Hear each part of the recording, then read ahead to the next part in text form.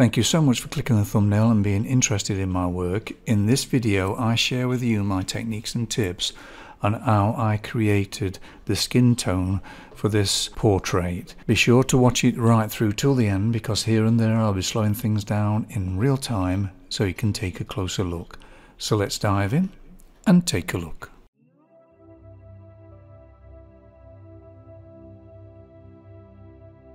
Right, just starting off with putting a center point in the middle of my board and the same with the reference image. And then from there I'm, I'm using sort of angles, imaginary angles to find the shape. And I'm doing the overall shape to start with. Using the edges of the actual board size as well, so I'm using that as well as a center point and getting a rough idea where the line of the nose going through the center of the portrait and then I'm measuring the middle. Normally it's just where the eyes is so I'll put a line there and then from your nose to your eyebrows is usually about the same. So I'm putting that in. What I did I decided to actually do the cross-reference with this just putting the odd mark here and there just to give me the idea of the location of it I want too far off actually with me guesswork with my eye, but um, it's just it's nice just to have that now and again just to uh, get the accuracy. Right, just a quick recap on how I do the cross-reference technique. Got my cursor, you can see it moving here. Corner of the mouth then, so if I just want that measurement there, uh, you've got a dashed line which will give you the measurement on the width and then you've got a dashed line here which gives you the measurement on the depth. Then it's just a case of popping that mark onto your board and then continuing then just doing the odd mark here and there just to locate certain areas. What I try and do is just do the odd mark and then more freehand. It's a good way of learning how to do freehand because you get used to seeing the shapes as what they are accurately uh, because sometimes because the light and shade it can throw the eye a little bit and that's why sometimes it's hard to find the outline uh, but this is a good way to practice I've got quite a few videos in my channel how to draw the outline freehand and cross-reference if you like to check those out. I'll put a couple of examples on screen for you now uh, but if you want to check those out at end of the video you're welcome to. Just quickly running through the outline then. Uh, I put the highlights of the eyes in there just to help me to sort of connect to the energy. In fact, what I do is bring that reference image inside my heart. So I'll, let it come into me rather than me going outside to draw it. Because if you go too far outside to draw it, it's tunnel vision. If you connect to your heart while you're drawing, you get that sort of free flowing feeling to it. It just happens. Um, so I'm just putting the odd mark here and there and then just outlining freehand. Uh, the more freehand you can do, the better, really. Um, but for the face, uh, the nose and the mouth and everything, I just used the ruler just to get that accuracy there for this portrait. Here's a selection of pencils I'll be using for the underdrawing. They're mainly sort of chalky pencils like Carbothello or Conte Paris pencils. Ghosting the image out first then with the Faber-Castell kneadable eraser. Putting the white down first and all this is really, this underdrawing, is to change the outline and create a little bit of form. So you're altering things I'm not really interested in getting the value right, the chroma, the edges, that all comes with the, the details and rich colour stage.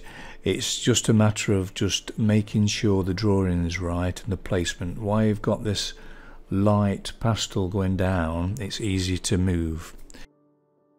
Just using brown and blue for the shadows and just getting the basic sort of idea where things are. So I'm just putting a little bit of pigment there just a bit of red around the eye there just to sort, sort of help me find the edges of the eye. And it's all in preparation really.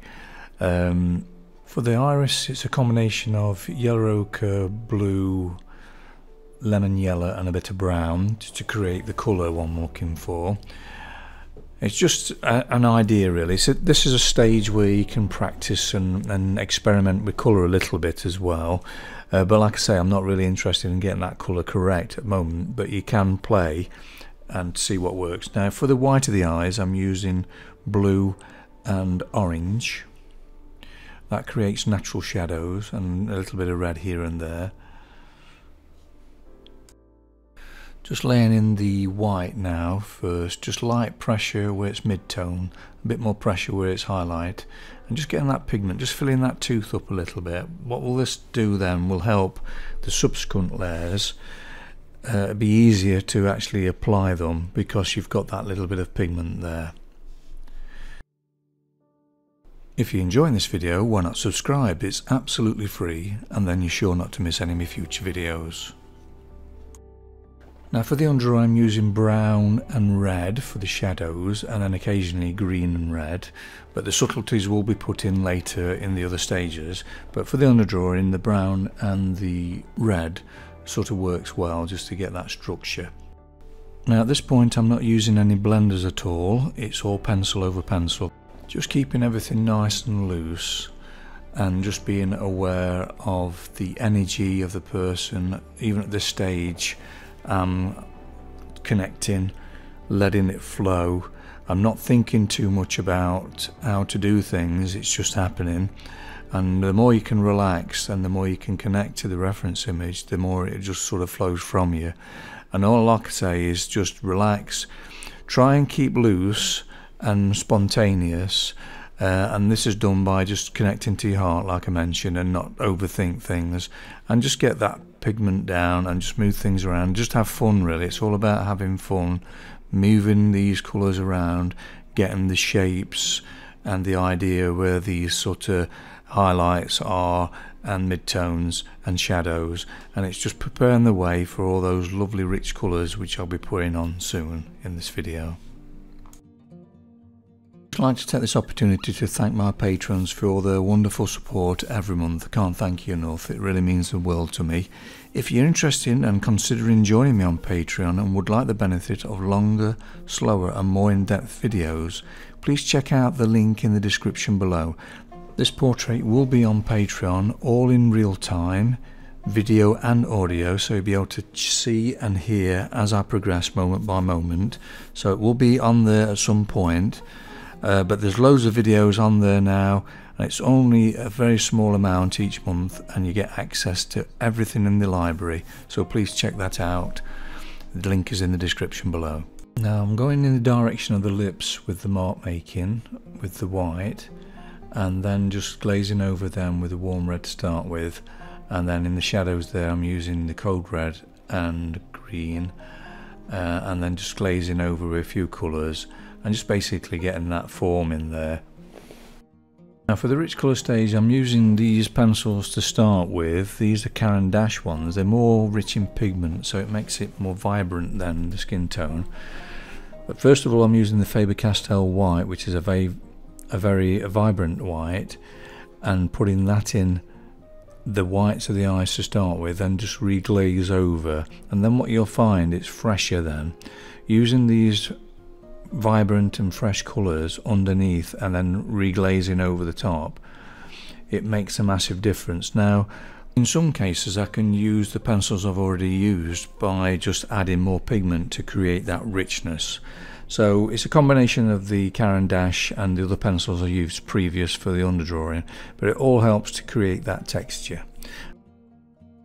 Slowing the pace down now so you can have a closer look. I'm using a burnt sienna around the pupil. That's a little tip there because it creates more of a aliveness even if it's not in the reference just adding that little bit into the eyes just makes a difference using lemon yellow now to create that glow what happens with lemon yellow it gives that sort of zinginess that vibrancy so anything that's got a lot of chroma, just adding that bit of lemon yellow just makes all the difference. Now I'm using the blue here just to subtle those values now. So it's all about getting the values right and the vibrancy. Now minimizing the details I'm putting in in the rich color stage because it's still like a block in. Uh, it's just getting the colors more correct with the value and the chroma but all the subtlety details you'll see me do later on in this video. If you're enjoying this video, why not give it a like and share it with your friends. It would mean so much to me as this would help my channel to grow. Just added these two dark areas here just to give me an idea then of what values will be in the skin toner so it gives me something to compare against. So it's just now again it's about putting more pigment down and then just glazing over with similar colours and also with the richer colours as well. So it's just a combination of all of them really. Now I'm using additional pencils now which are pre-mixed pencils. This one's a pink white I'm using then glazing over with the red and the yellow ochre uh, to get that richness. Now I'm feeling in the reference how the texture is and I'm just letting the pencil just move that way so I'm doing small circles, little dashes just feeling my way through and trying to create texture. Now I'm using a pre-mixed pencil which is 5% flesh colour. Just got to be patient and build up these layers and the colours will eventually come together. I'm using dark green and red uh, for the shadows here and a bit of brown and then just blending them with a earbud just to get that subtlety. And then using olive green here. So I'm using a combination of all these different pencils. And again it's just a block in the details will be in later on in this videos you'll see how I do that. But it's just a case now of just getting things feeling more and more towards what they should be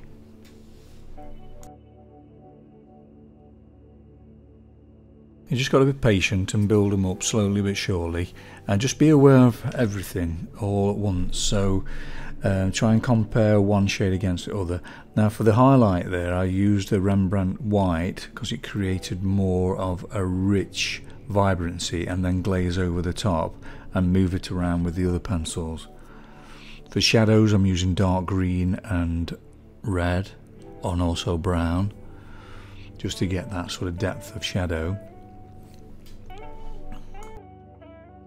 If you would like to know more about to create shadows for skin tone, please check out this free class, so there's a link in the description below.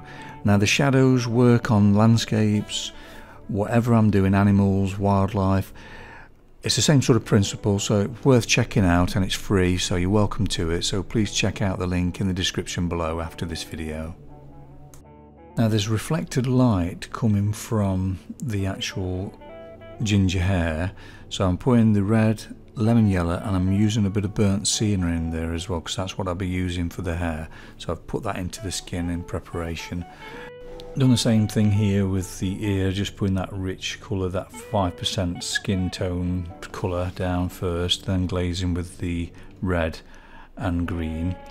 Dark green and red for the shadow there from the earring. And then basically just building up that texture small circles keep working it in backwards and forwards. It does take time you just got to be patient with it. And but each layer you see adds that subtlety. Now I'm using a earbud there as well just to soften the grain a little bit and then just adding that texture back in. Now I'm working in the white to get the subtlety there and then just glazing over with more pigment now with the red and the green to desaturate it because when you put the red down first it's too glowy so you have to subtle it down by adding that green because it's complementary. Now don't put every little sort of mark the same, it's my suggestion at the end of the day it's, it's a piece of art so it's not a replica so it's a suggestion here and there. It's your interpretation of what you're actually viewing. It's not a carbon copy. So just relax and enjoy moving the colours around without getting too intense about trying to make it exactly the same as a reference image.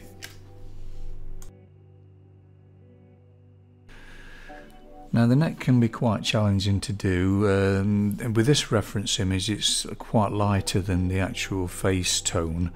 Um, there's quite a lot of purples, blues, greens, there's all sorts of colours but what I say is always paint what you see and just develops on its own without getting too wrapped up in the details. Right on with the detail stage now so uh, here I'm just putting in the eyelashes. I'm using brown to start with taking my time, making sure that each stroke is right and very light pressures to start with because you can add more pigment when you're happy with the placement of it. Now detail stage it's all about moving the pigment what you've already put down there but subtling it up and getting more of a refined look to it. With the eyelashes on this side again I'm just doing very light pressures to start with and then what I'll do once I'm happy with that I'll go over in places with a bit of black uh, just to darken it up a little. Now this is a great tool to have in your kit. It's a colour shaper, it's a silicone tip so it's like using a brush. You're just picking up pigment with this very fine point and moving pigment around. It's very light pressure on it, but it does make all the difference with the subtleties. Right, slowing it down to real time here so you can see my mark making and how subtle it does get and how you just use the side of the point of the pencil. Now this is flesh tint from the Caran d'Ache and very very small circles here because it's in the shadow area I'm using this darker pre-mixed colour With the lips here, I'm adding that lemon yellow just to give it that zinginess and that vibrancy and using the pre-mix pink white for the highlights and then just glazing over here and there. And it's a case of really keep looking in the mirror and seeing it from a different angle and just sensing what needs to be changed. Now if it feels wrong, if you get a feeling there's something not quite right, work on it There's some more real time now to show you how I'm putting the freckles in. Now, have to be really subtle with freckles. I tend to use the olive green, a bit of warm red and a bit of yellow ochre and then I just dab it with my finger uh, just to soften the edges of it. Uh, so you've got to be really, really sort of gentle with this and not press on at all. It's just, just letting that pigment just fall off the pencil now I'm very aware at this stage, the detail stage, of how the edges feel. Some need to be softer, some needs to be sharper. I'm aware of the temperature and also the value. So I'm squinting my eyes for the value, sensing the temperature of it, and changing everything accordingly really. Um, just using the Carbothello white to blend with as well because that's a really good pencil for blending. Just very light pressure and then adding pigment on the top. Changing the subtle values again uh, putting the odd sort of freckle in here and there. It's just a case of just going round everywhere and just getting the overall balance and try and create that oneness feel to the portrait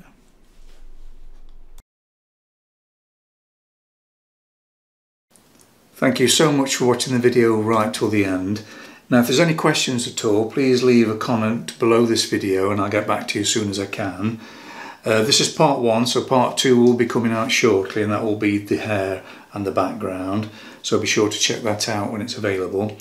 Now if you enjoyed it please give it a thumbs up and share it with your friends. I really appreciate that, it helps the channel a lot.